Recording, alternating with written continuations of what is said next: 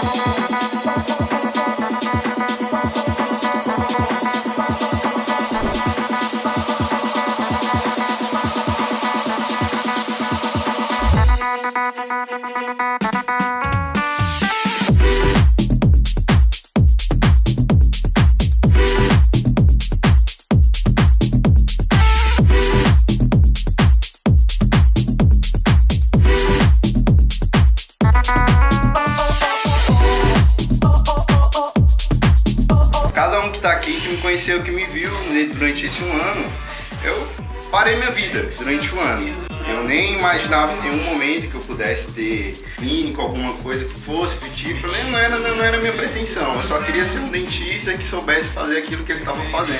Obrigado. Não me faça chorar mais.